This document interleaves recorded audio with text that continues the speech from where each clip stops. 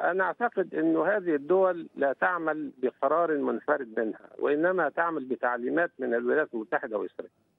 ولذلك أنا لا أظن أنها تفكر في العوامل والدوافع التي تدفعها إلى هذا.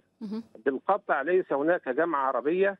الجامعة العربية أعلنت عن أنها انتهت يوم طردت سوريا الدولة المؤسسة و... وانحازت أيضا لهذه الدول التي أصبحت تحل محل مصر في العالم العربي.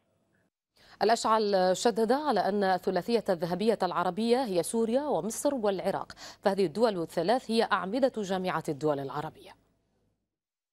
لن يكون هناك دور مصري ما دام هناك سقف خليجي للدور المصري.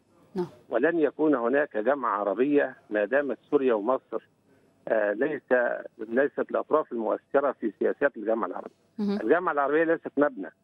الجامعة العربية هي عبارة عن مضمون ولذلك في المنطقة العربية نشأت فيها التنظيم العربي قبل أن تنشأ ينشأ النظام العربي.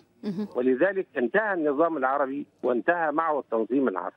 لذلك لن تعود الجامعة العربية إلا إذا عادت مصر وسوريا قلب العالم العربي إلى دورها وانتشل العراق أيضا من المحنة التي هو فيها. ثم يصبح الثلاثة دول هم الأساس والمحاور الأساسية للجامعة العربية.